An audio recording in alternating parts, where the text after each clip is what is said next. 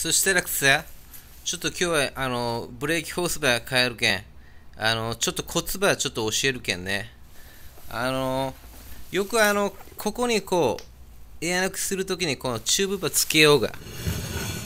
このチューブバーつけようが。これな。こうやって、こうつけようが、ここにね。ここにつけようが。この時にさ、まあ大体チューブの径はな、大体4ミリが普通、みんな買うとは4ミリ。5ミリはもう大きいけんね。ガバガバになるけんね。4ミリ。まあもしくはね、俺がやりよう方法やったら3ミリでもいい。それのがもうしっかりはする。ばってんがさ、そのままこれ差し込んだっちゃ入らんちゃ。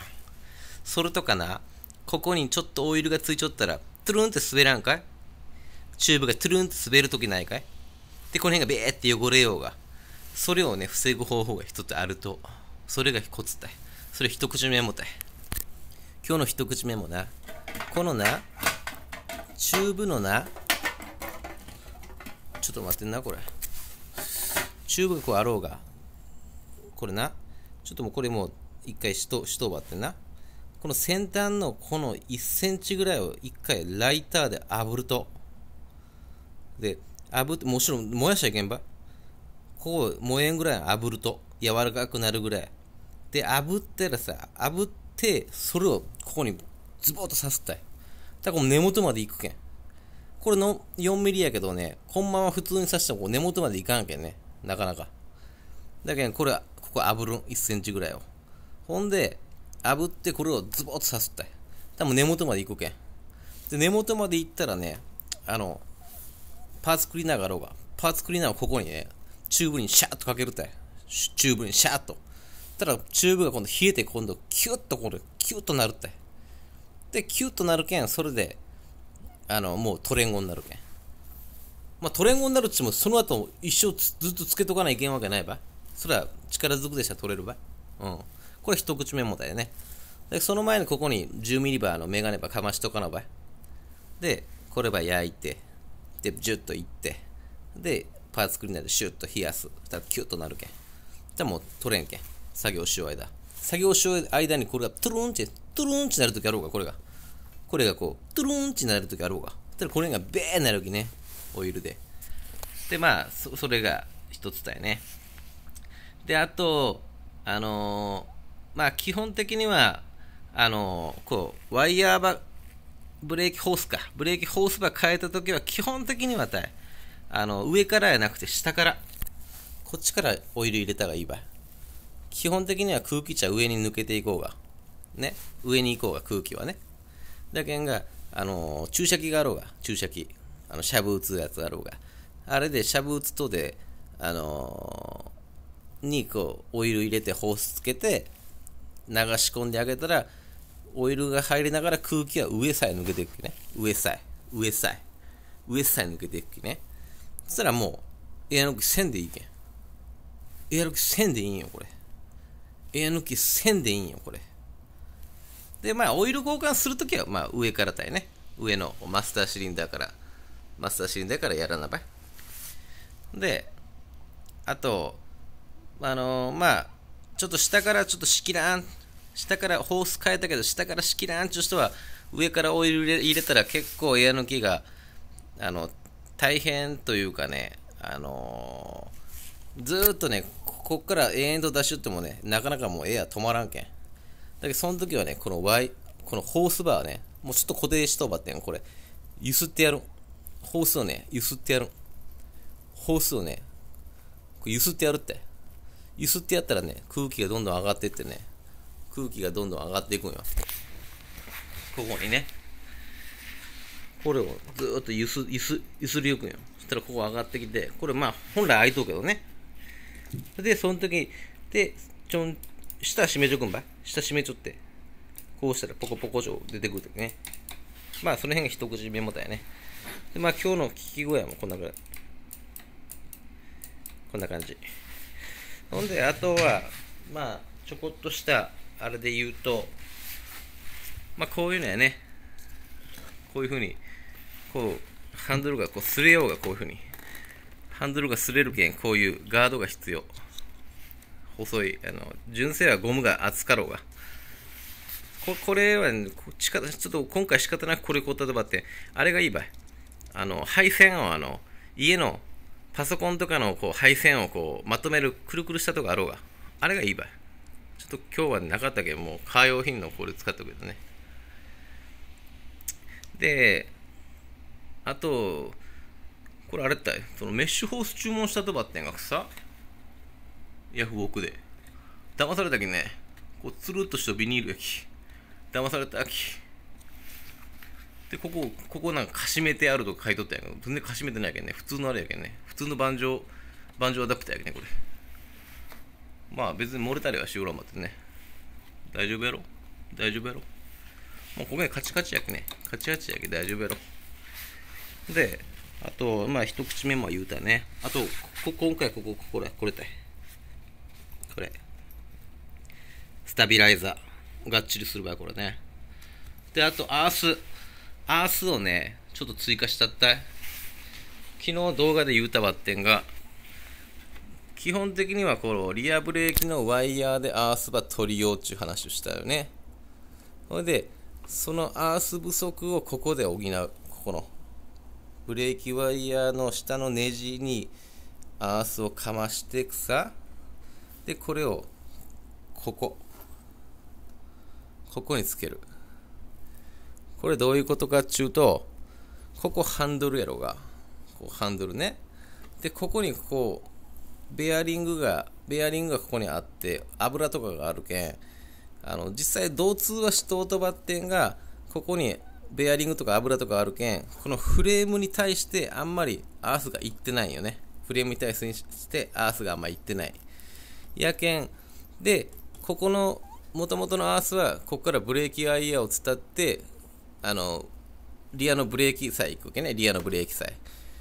それをここで草、えっ、ー、と、ちょっと、ああ、そう、配線でも取ってやるったい。で、ここのフレーム、メインフレームのどこでもいけんつけると、アースがアクスこのブレーキワイヤーにも行くし、こっちのボディアースにも行くっちゅうね。これでアースが増えるっちゅうことやね。これで、まあ、エンジンのあれが安定したり、ライトが、ライトの光が安定したりするったい。で、草、あとは、ここも追加したね。ここ。ここはもうどっちかって言ったらもうエンジンのアースを、あのー、ね、エンジンで起きた電気のアースをここで拾うって感じだね、ボディでね。ここで。ここから拾う。これちょっと追加したね。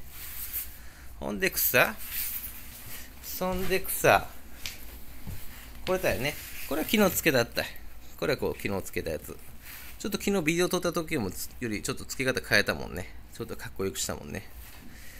ほんで、で、あとこれあれだよ。俺は、これわざとにちょっとね、見えるごとしとん。向こうもばって。見えるごとしとん。ちゅうのは、なんかしとるね、あの人な。なりたいやん。それちょっと、これ何ですかって言われたいやん。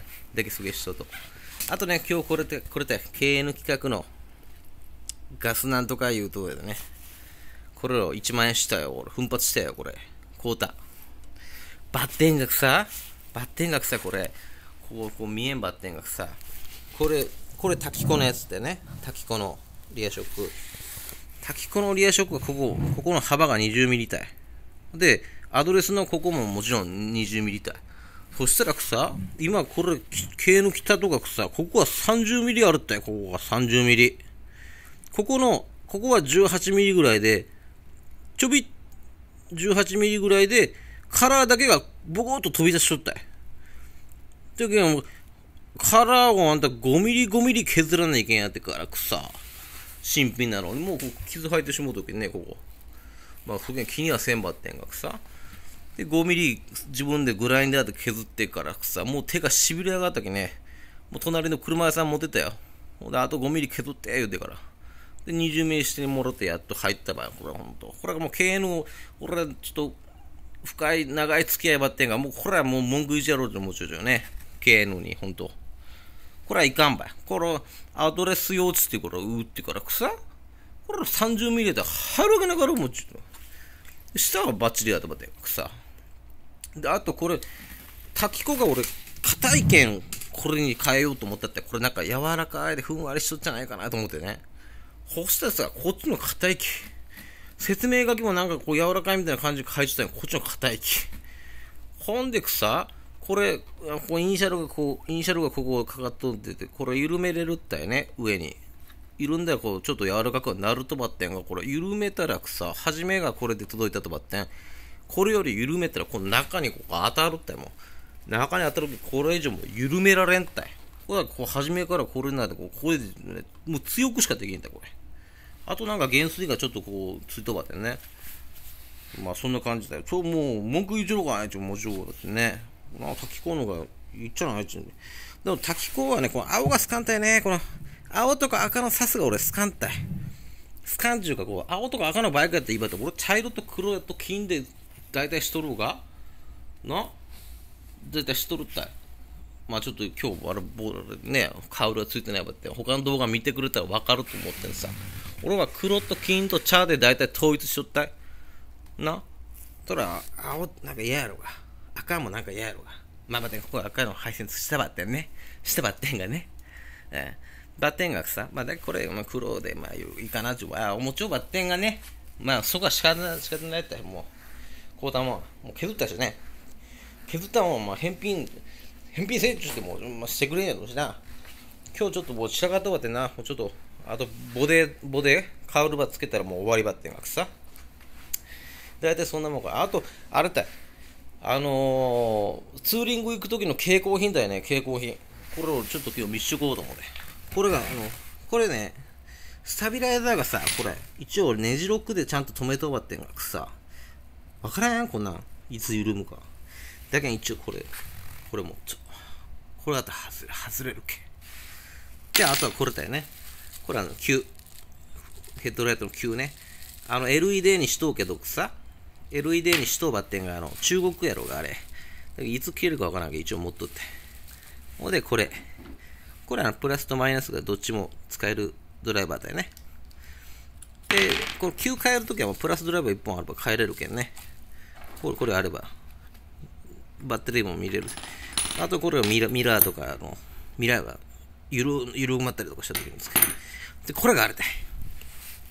今のシャシカロが、バイクが、あの、コンピューターになっちゃろうが。で、コンピューターがエラーが出たらさ、あの、もうエンジンかからなくなるわけね。で、これで、あの、エラーを解除したら、またエンジンかかったりするったい。で、これが、あの、自作したやつだけどね。あのー、なんだかね、テスタータイね。あのー、エラーのエラーをこう表示させる時のテスターこれを2本ぶっ刺してからさこれをオンにしてアクセル全開してキーオンにしたらあのエラーコード出るけん。でエラーコードが分かって処理が終わった後はこれこうなパチパチパチパチパチパチすればエラーが消えるけんエンジンかかるって。これも持っとかないけんって。写真ない今のバイクは。インインジェクションかね。インジェクションシャシかもうほんと。俺はキャブの時代やけね、キャブ。キャブレター、知らんめよ。知らんめ今若いとは。キャブレター知らんめ俺はキャブ、キャブレターの時代やけんの。まあ、そげな感じだよな。今日は、あと何かあったかのあと何かあったかのちょっとかな。あ、あと一口目も、ば教えとこう。あと、あの、これ最後、家抜き終わろうが。家抜き終わって、この蓋をする前ね。これ、もう、すごい、すごいけん、これ。こう、まあ、蓋閉める前やけどね、もう一番最後、エア抜き終わったねって思った時、そしたらね、ここをね、ブレーキをギューッと握ったまんま、ここをね、一回緩めると、ちゅうのはね、ここのね、ここの上に空気が絶対入るんよ。これはね、土下しても取れんとち。だけんね、これをギューッと握っとって草、ギューッと握っとって草、ここを12のスパナでスポンと緩めてパンと閉めるんだい。で空気がここからピュッと出るんだ。ったらもう完璧なエアの機体ね。ほんでさ、その代わり失敗したらここからもうバーオイル出るけんね。ごめん、びっちゃびちゃになるけどね。まあその辺は気をつけてからやって。